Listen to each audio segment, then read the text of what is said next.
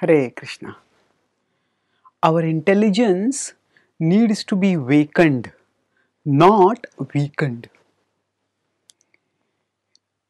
Actually, suppose there is some very powerful warrior, powerful, say, secure, who is the guard for a uh, for a country or establishment, and that person is sleeping.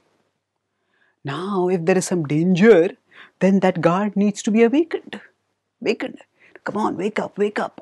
You have to, you have to fight for us. And in the Ramayana, when the uh, Rakshasas found that Ram's attack was unmanageable, then they awake, awakened uh, Kumbhakarna because they wanted him to help. They thought he will guard us.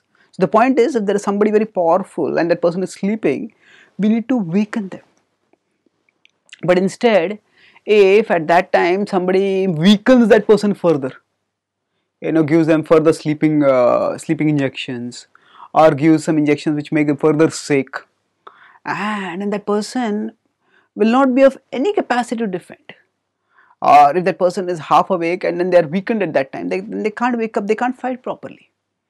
So our intelligence is actually our guard.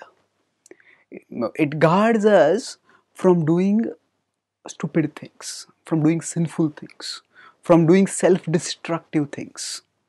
And all these, all such desires, temptations, they come into the territory of our consciousness. If we consider our consciousness to be like a fort, in this fort, various stupid, sinful, self destructive desires come in from outside. And when they come in, our intelligence is meant to be the guard.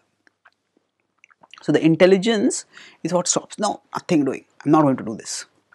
So when the intelligence is strong and alert, when we say no to such desires. But when the intelligence falls, then we fall.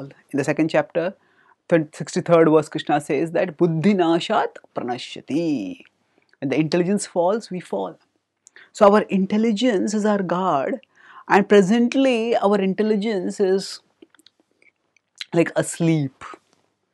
It is Krishna says in 2.44 that भोगैश्वर्य प्रसक्तानां तया पहृत चेतसां व्यवसायात्मिका बुद्धि समाधौ न विधीयते। It says that those who are attached to bhoga and aishwarya to sense enjoyment and wealth and the comforts it brings so such people what happens to them तया अपहृत चेतसां their consciousness gets captured by them and then व्यवसायात्मिका बुद्धि the intelligence to be one pointed, to be focused. Samadhau na vidhiyate, uh, one just doesn't get it. So the intelligence is sabotaged by the excessive sensual indulgence, excessive worldly indulgence. So that means if we repeatedly give in to temptations, if we repeatedly indulge in unworthy pleasures, then what happens by that? It is like we are weakening our intelligence. We are letting our intelligence become more and more important. And that intelligence will just not be fixed, just like a person who just, just now woken from sleep and that person has already been weakened by some some debilitating injection. That person is uh, staggering to get up and the enemy pounces and slashes. Not be able to defend oneself, what to speak of defending one city. So, like that, we have to understand that our intelligence is our guard, but then we also have to guard our intelligence.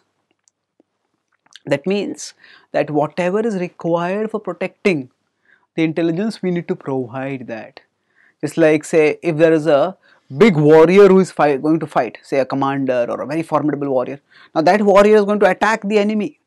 But then, quite often, that warrior also has guards. Although that warrior can defend oneself very well, but if somebody attacks from behind, if somebody attacks by surprise, then we don't want such a warrior to fall uh, to some treacherous attack from the back. So, therefore, there are guards for the such a such a major warrior also. So like that, for our intelligence, which is our guard, we also need guards, and that the guards for for our intelligence are our own is our own vigilance. We know what comprises attack on the intelligence, and we avoid those activities.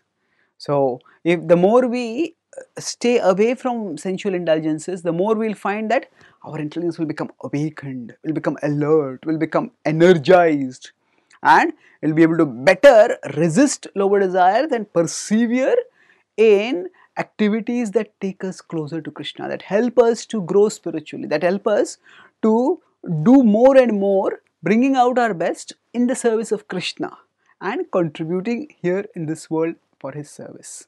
Thank you. Hare Krishna.